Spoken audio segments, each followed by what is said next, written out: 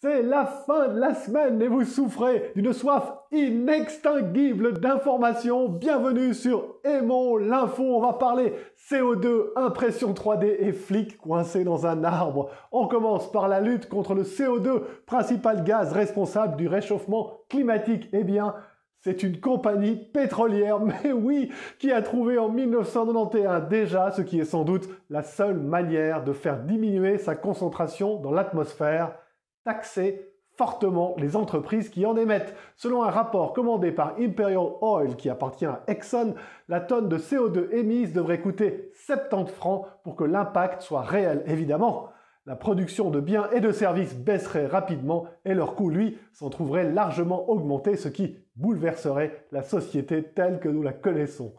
De la réduction, on passe à la construction. À Dubaï, l'impression 3D est entrée dans un tout nouveau monde. Pour la première fois, en effet, un immeuble de deux étages en béton a été construit grâce à une énorme imprimante, imprimante 3D. Selon ses initiateurs, il aura fallu moitié moins d'ouvriers pour terminer le projet, tandis que le chantier aurait produit 60% de déchets en moins pour un bâtiment de 9 mètres de haut.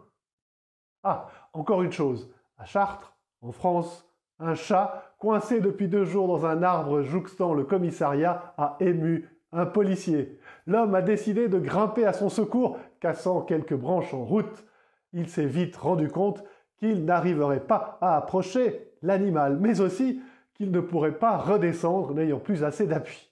Au final, ce sont les pompiers qui ont sauvé tout ce beau monde. Allez, prenez bien soin de vous et bon week-end.